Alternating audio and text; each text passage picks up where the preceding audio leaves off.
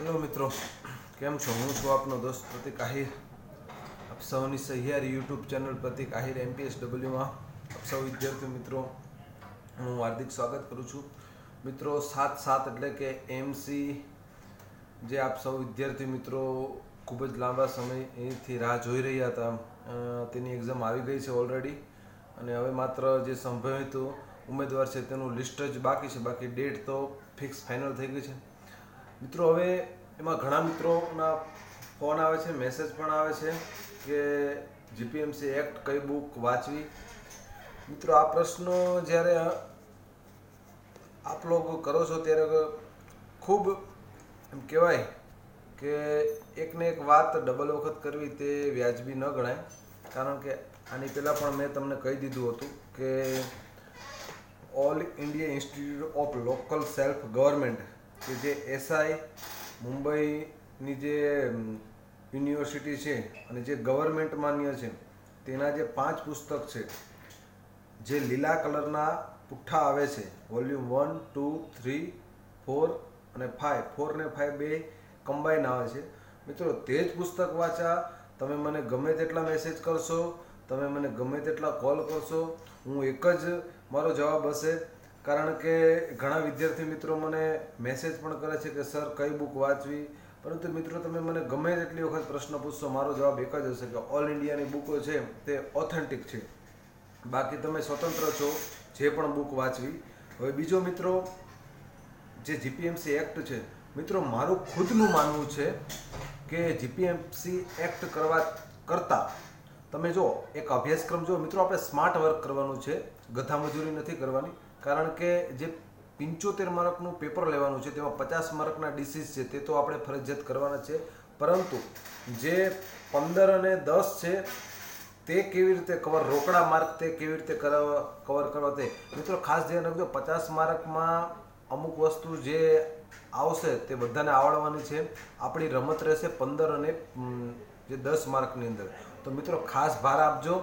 પચાસ માર્કમાં જે પણ આવવાનું છે અને જેને ખા- ફૂલ્લી તૈયારી કરેલી છે તે બધાને આવડવાનું જ છે. તે માટે ખાસ હવે કેવી રીતે તૈયારી કરવી તે હું તમને થોડીક હિન્ટ આપી દઉં. મિત્રો, પહેલાં પંદર માર્કનું ઉપાડવાનું છે કે જેમાં મારા મત પ્રમાણે પહેલા મહિનાથી ચાલુ કરીને કે છઠ્ઠા મહિના સુધીનું કરંટ અફેર કરી નાખવું, જેમાં મોસ્ટ ઓફલી મિત્રો કરંટ અફેર ખાસ કરીને છ મહિનાનું કરવું, કારણ કે જે કરંટ અફેરનું હું તમને તેના માટે કહું છું, કારણ કે કરંટ અફેરની અંદર જે આપણી જે સરકારી યોજના અને જે મહત્ત્વના જે પ્રોજેક્ટો છે, તેનો ઉલ્લેખ કરેલો છે. અને મિત્રો, ખાસ તમને મારે જણાવવાનું છે કે કરંટ અફેર ઉપર તમે ખાસ ભાર આપજો. ભાર આપવાનું તે માટે કહી કહી રહ્યો છું, કારણ કે હવે પછીના જે બધા પરીક્ષાના જે કન્ટેન્ટ છે તે કરંટ ઓફરો ઉપર જ આવશે. અને ખાસ મિત્રો, અમદાવાદની એક્ઝામ છે તે માટે અમદાવાદનો જિલ્લો ખાસ કરી લેવો.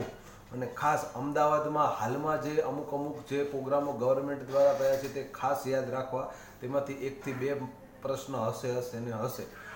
ત્યારબાદ મિત્રો કરંટ અફેર ખાસ મિત્રો સરકારી યોજના મહત્ત્વના જે પ્રોજેક્ટો ચાલે છે તે જે એરપોર્ટ બનાવવાના પ્રોજેક્ટો છે, જે નદી ઉપરના પ્રોજેક્ટો છે, ત્યારબાદ જે કૃષિને લગતા, આરોગ્યને લગતા જે અમુક મહત્ત્વના જે પ્રોજેક્ટો છે તે ખાસ ખાસ કરી લેવા મિત્રો કારણ કે આમાંથી જ જે પંદર માર્કનું છે, દસ માર્કનું કરંટ અફેરની અંદર જ, એટલે કે કન્ટેન, કરંટ અફેરને લઈને પૂછાવવામાં આવશે. હવે ત્યારબાદ મિત્રો આવે છે કોમ્પ્યુટર. તો કમ્પ્યુટરની અંદર મિત્રો મારું માનવું છે, ત્યાં સુધી છેલ્લા જે પૂછાયેલા પ્રશ્નો છે તે પહેલાં કરવા. કારણ કે આપ સૌ જોઈ રહ્યો છો કે ગમે તે એક્ઝામ તમે જુઓ તેમાં એક ને એક પ્રશ્ન વારે ઘડીએ રિપીટ થતો હોય છે. તો ખાસ જે શહેજાદ કાજી સાહેબની જે તેર હજાર પ્રશ્નોની બુક છે, તેની અંદર કમ્પ્યુટરના જે અગાઉની પરીક્ષામાં જે પૂછાયેલા છે તે, અને એક હું તમને એક એપ્લિકેશનનું નામ કહું, બિન સચિવાલય ક્લાર્ક બે હજાર ઓગણીસ. જે ભાવનગરના રેડ રેડ કંપનીની છે, બિન સચિવાલય ક્લાર્ક બે હજાર ઓગણીસ. તે એપ્લિકેશન તમે ડાઉનલોડ કરશો તો ઓગણીસો એકાણુંથી માંડીને ટોટલી પ્રશ્નો તેમાં આવી જશે. તો મિત્રો, ખાસ કમ્પ્યુટરના પ્રશ્ન કરો. ત્યારબાદ કમ્પ્યુટરના મિત્રો ત્રણથી ચાર હજાર વન લાઇનર ખાસ કરી લેવા. કારણ કે હું તમને કહું છું કેમ કે દસ માર્કનો વેઇટ જ છે, તો તેમાં ખાસ પૂછવાની શક્યતા છે. અને કમ્પ્યુટર તો આપ સૌ વિદ્યાર્થી મિત્રો જાણો છો કે ખૂબ જ વેઇટેજ વધતું જાય છે. તો તે કોમ્પ્યુટર કરો. હવે મિત્રો આવે છે વહીવટી. મિત્રો, આ જ પ્રશ્ન બધાઓને મૂંઝવતો છે કે વહીવટીમાં કેવા પ્રશ્નો પૂછાશે? તો મિત્રો, આપ સૌને કહી દઉં કે વહીવટીની અંદર કેવા પ્રશ્નો પૂછાશે કે આપણે ક્યાં જોબ કરવાની છે? તો કે મેલેરિયા વિભાગની અંદર એમપીએસ ડબલ્યુ તરીકેની જોબ કરવાની છે. તો મિત્રો, ખાસ યાદ રાખજો જે વિભાગની અંદર આપણે જોબ કરવાની છે, તો મેલેરિયા વિભાગના વહીવટી વિભાગ એટલે કે મેલેરિયા વિભાગના કેવા કેવા ફોર્મ આવે? કારણ કે જેમ કે એમપીએસ ડબલ્યુમાં જે મેલેરિયાનો સર્વે કરીએ, તો તે જે સર્વે કરવાનું છે તે ફોર્મ તે ફોર્મનું નામ શું હોય છે? તો કે આઈએમએફ ટુ નામનું, મારા અંદાજ પ્રમાણે એમએફ ટુ નામનું ફોર્મ આવે છે. જે આખો જે મેલેરિયાનો સર્વે જે તે વિસ્તારનો સો ઘરનો કરવાનો હોય છે તે એમએફ ટુ નામનો ફોર્મ આવે છે, તેની અંદર સર્વે કરવાનો છે. તો આ મિત્રો થઈ ગયા વહીવટી. એટલે કે રજિસ્ટરને લગતા માહિતી જે આવે તે વહીવટી બાબત હોય છે.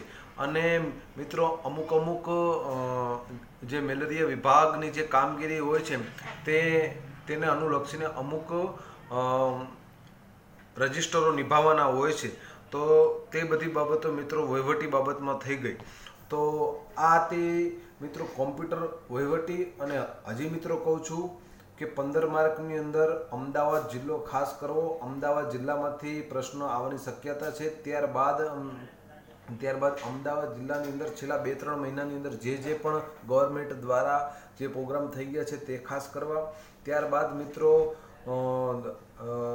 ત્યારબાદ જે ગવર્મેન્ટની જે યોજના છે, અને ખાસ છેલ્લા એ જાન્યુઆરીથી લઈને જાન્યુઆરીથી લઈને છેલ્લા છઠ્ઠા મહિના સુધીની, એટલે કે આપણી જે સાત તારીખ ડેટ છે ત્યાં સુધીનું કરંટ અફેર ખાસ કરી લેવું મિત્રો.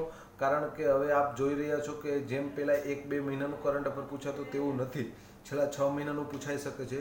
અને ખાસ મિત્રો બજેટની અંદર ખાસ ધ્યાન આપજો. કારણ કે બજેટને અનુલક્ષીને પણ પ્રશ્ન પૂછાઈ શકે છે. અને મિત્રો, ખાસ ધ્યાન રાખજો કે અમદાવાદમાં જે મેટ્રો રેલ છે, તે સંપૂર્ણ પ્રોજેક્ટની જે માહિતી છે તે યાદ રાખજો. પ્રશ્નો પૂછવાની શક્યતા મારી દ્રષ્ટિએ છે. પછી પૂછાય, ન પૂછાય, એ તો કાંઈ ખ્યાલ નથી, પરંતુ જે એક્ઝામ છે તેને અનુલક્ષીને પૂછાય છે. અને મિત્રો, ખાસ ધ્યાન રાખજો, મેલેરિયાની રસીનું નામ, વ્યાપારિક નામ કઈ દેશમાં શોધાણી છે અને ત્યારબાદ તેના શોધક, ત્યારબાદ તેના દવાના ડોઝ, પછી જો કોઈને મેલેરિયા થયો હોય તો તેને કઈ કઈ સારવાર આપી શકાય, તેની અંદર કઈ દવા આપણે વાપરી શકીએ છીએ. તે ટોટલી મિત્રો ટ્રીટમેન્ટ ખાસ કરી નાખજો. પાંચથી છ માર્કની અંદર આખે આખો મેલેરિયા રોગ. તે ડીપલી પૂછાશે તો મિત્રો જ્યાંથી પણ તમને જે પણ મટીરિયલ મળે તે ખાસ કરવા વિનંતી, ત્યારબાદ રોગોની અંદર બીજી પ્રાયોરિટી આપવું તો છે ટીબી છે ફાઇલેરિયા રોગ છે, ત્યારબાદ એડ્સ છે, ચિકનગુનિયા છે સ્વાઇન ફ્લૂ છે. અમદાવાદનો ઇતિહાસ, મિત્રો, ખાસ કરજો, કેમ કે જીકે અનુરૂપ અમદાવાદનો પૂછી શકે છે અને મિત્રો, ખાસ ધ્યાન રાખજો. કે આગામી સમયમાં સ્વચ્છતા સર્વેક્ષણને કોઈ પણ નજરઅંદાજ ન કરતા, કારણ કે બે હજાર વીસની અંદર તેનો આખો કન્ટેન્ટ આવી આવી ગયેલો છે, તેના ધારાધોરણ આવી ગયા છે, સ્વચ્છતા સર્વેક્ષણની અંદર કેવી રીતે નંબર આપી શકે છે. મિત્રો, અહીંયા તમે ખાસ ધ્યાન રાખજો કે પચાસ માર્કના તમે, તમને જે રોગ કીધા છે તો રોગ ઉપર જ ખાલી ભાર ના આપતા, કારણ કે બીજા બધા પણ કોઈ કન્ટેન્ટ છે, જેમ કે રસીકરણ છે પછી વેક્સિનને લગતું જે પણ કાંઈ મટીરિયલ હોય તે ખાસ કરજો. શોધ શોધકો, જે દવાના જે શોધ શોધકો છે તે પણ ખાસ કરજો. પછી બાયોડિગ્રેબલ જે કોઈ કચરો છે તે કઈ કઈ ડોલ, તે કયા કયા કલરની કલરની કોથળીની અંદર નાખવામાં છે તે ખાસ કરજો. એટલે કે આરોગ્યને લગતા આપણા જે એમપીએસડબલ્યુને લગતા જે કંઈ પણ પ્રશ્નો છે તે બધા ખાસ કરજો. કારણ કે રોગ જ ખાલી પૂછાશે તેવું નથી. પરંતુ આપણે યુદ્ધમાં લડવા જઈએ તો સંપૂર્ણ આપણે તૈયારી કરીને જવાની છે. તે માટે તમામે તમામ હથિયાર આપણે સાથે લઈને જવાના છે. જે હથિયારથી પણ, જે હથિયારથી લડવું પડે, તે હથિયારથી આપણે લડવાની ક્ષમતા આપણામાં હોવી જોઈએ. તેના કારણે મિત્રો, મારું માનવું છે કે તમામ પોઈન્ટ કરી લેવા. અને મિત્રો, હજી જો કોઈ વિદ્યાર્થી મિત્રોને હું ખાસ કહું છું કે અત્યારે હવે કેવી રીતે વાંચવું તો ખાસ હું તમને કહું છું કે પહેલાં કરંટ અફેર પૂરું કરી નાખજો, ત્યારબાદ ગવર્મેન્ટ યોજના પૂરી કરી નાખજો. આ જે કરંટ અફેર ગવર્મેન્ટ યોજના, અમદાવાદ જિલ્લો, આ જે બધા મેં તમને કન્ટેન્ટ કીધા, એ બે દિવસનો જ મામલો છે કે જેમાં તમને કરંટ અફેર તમને એવું લાગે તો વધી ત્રણથી ચાર દિવસની અંદર તમારે પૂરો થઈ જશે અને છેલ્લા મિત્રો, મારા અંદાજ પ્રમાણે છેલ્લા સાતથી આઠ દિવસ છે તે રોગો એટલે કે આરોગ્યને લગતું જે વાંચવાનું છે તેના ઉપર ખાસ ભાર આપજો મિત્રો. અને આશા છે કે મેં તમને, હું પણ ખુદ પણ જો મારું નામ લિસ્ટમાં આવ્યું તો અમદાવાદમાં આવવાનો જ છું. તો આપણે સૌ ત્યાં મળીએ. અને ખાસ વિનંતી કે હવે વિદ્યાર્થી મિત્રો મારે પણ તૈયારી કરવાની છે. તો વારંવાર કોલ ના કરતા, કારણ કે મારે પણ, હું કોઈ ગવર્મેન્ટ જોબ નથી કરતો. મારે પણ એક મારું ડ્રીમ છે તે મારે એમ કહેવાય કે હાંસલ કરવાનું છે.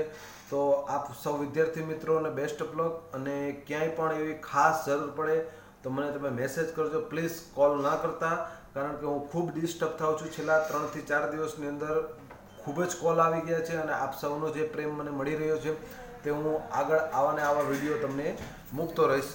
જય હિન્દ, જય ભારત.